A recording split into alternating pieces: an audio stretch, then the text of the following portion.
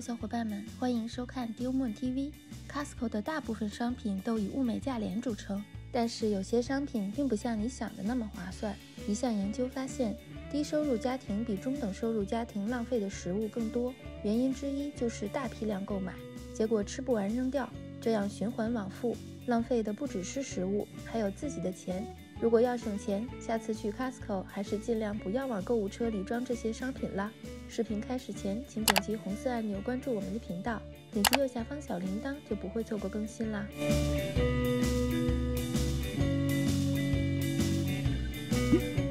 酱料，如果不是有个大家庭或者特别喜欢吃口味重的食物，Costco 的酱料可能未必适合你。像这种大瓶的蛋黄酱，开盖后需要两个月内吃掉。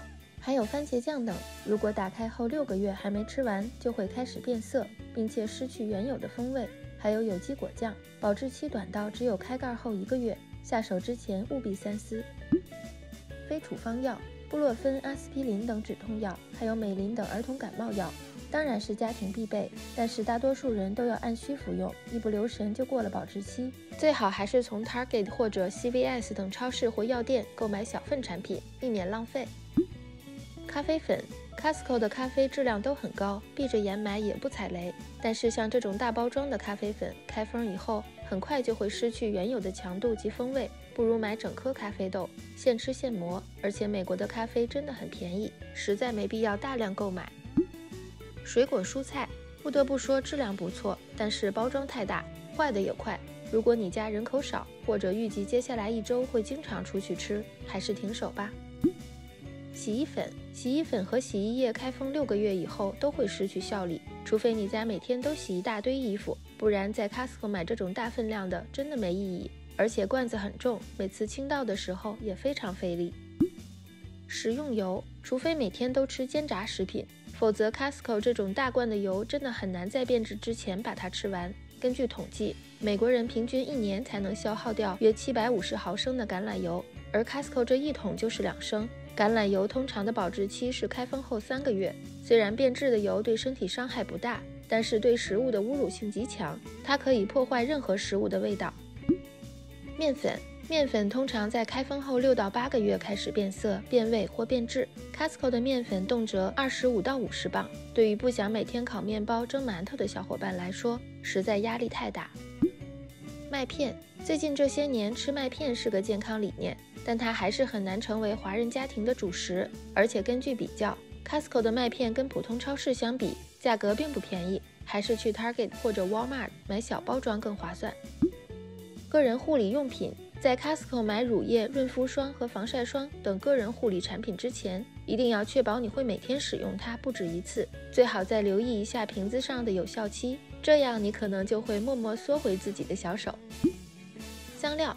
香料的味道会随着时间的推移而慢慢减淡，调味粉的保质期只有三个月。想想我们每次做菜可能只会用个几颗，怎么算都不太划算。书籍，Costco 有一张堆满了各类图书的桌子，每次去也能看见很多人在那里翻来翻去。不过价格未必比其他实体或网络书店划算，而且经典图书较多，新款书籍较少。即使是童书绘本，也是要一买就买一整套。如果小孩不爱读，就只能放在书架上落灰。电子产品，像电视、笔记本电脑等电子产品，有很多是生产厂家专门和 Costco 合作的特供款，只在 Costco 出售，价格比其他地方都低。但是买回家你会发现它少了一些普通款都有的功能，所以最好是买你在其他店里见过的款式。汽水饮料，在美国，碳酸饮料和苏打水真是特别普遍的饮料。几乎所有超市都有常年的折扣。如果你去 Costco 遇到折扣，可以顺手拿一箱。但是如果为了买它特意去一趟，就不太值得了。鸡蛋，FDA 建议鸡蛋应该在买回家以后三周内吃完，而且必须在冰箱里保存。Costco 的鸡蛋一盒十八个装，而且并非是上乘品质，除非你家是每天吃蛋的大家庭，否则不建议囤货。跑步鞋。